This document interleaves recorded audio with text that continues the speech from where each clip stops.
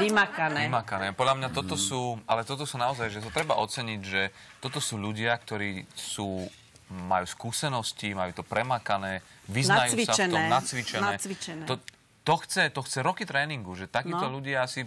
Zaslúžia. Niečo, zaslúžia si to, čo potom ukradnú, lebo si vravím, keď si sa takto vymakal, Si zaslúžiš. si zaslúži. Dokonca si od nich...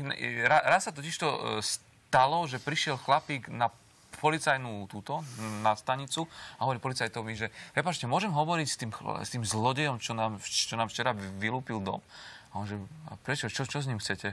A hovorí, viete čo, ja sa ho chcem opýtať, že ako sa jemu podarilo dostať do nášho domu bez toho, aby zobudil moju ženu, lebo ja sa to roky pokúšam. A... Takže, Ja si tiež myslím, že na kradnutie treba mať fantáziu. Do nášho mestečka prišiel raz jeden kúzelník, ich, moja mama, ja a môj e, ujo sme išli na to predstavenie, sedeli sme v prvom rade a ako sa tak kúkáme, tak kúzelník vyťahol z klobúka kúru, sliepku. A moja mama pošepkala ujovi, tak sa mi zdá, nebude to naša kúra.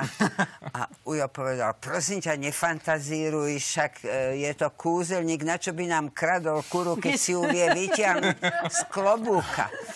No a potom sme teda prišli domov a zistili sme, že skutočne nám jedna sliepka chýba.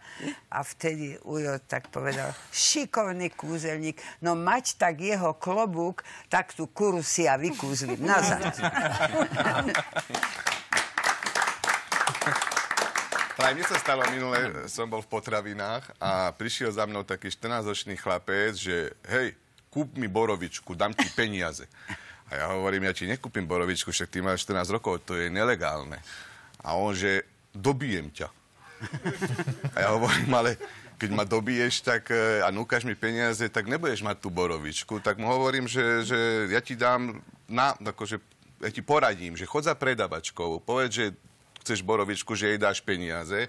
Ak ti ju nedá, dobijú a vezmi si tú borovičku zadarmo. A, a on na mňa tak kúka, že aha, ty si ten komik, ty si ten žid lakomý, nič od teba nechcem.